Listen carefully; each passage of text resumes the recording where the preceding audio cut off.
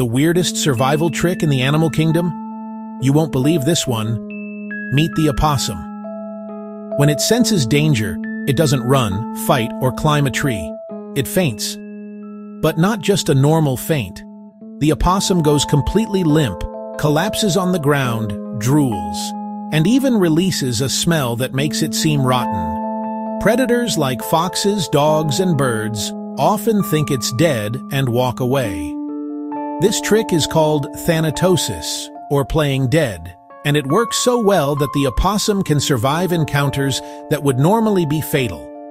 It's like nature's ultimate life hack.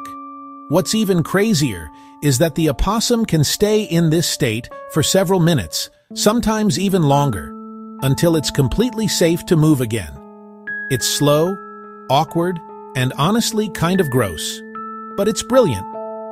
Opossums aren't the only masters of weird survival. Some insects pretend to be ants, lizards drop their tails, and even some fish mimic toxic species to avoid getting eaten. Nature is full of these insane strategies. So next time you see an opossum playing dead, remember, it's not lazy or scared.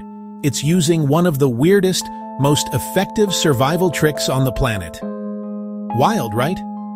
Follow for more crazy survival tricks you've probably never heard of.